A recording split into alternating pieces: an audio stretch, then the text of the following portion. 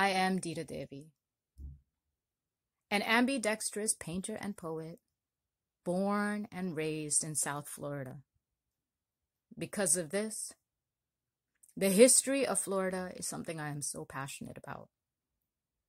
From the erasure of the impact of Black and Native alliances to the power that unity provided to marginalized groups, to the silence of the history of a bustling Overtown and how eminent domain and racism have been tied.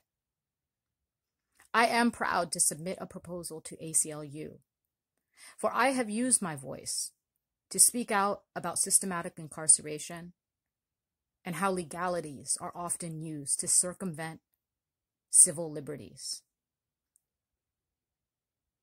From using my poetry to speak to presidential candidates about racism, to celebrating my culture by performing hip hop in Hindi. My art is my activism. Them, but exclude me and my breed.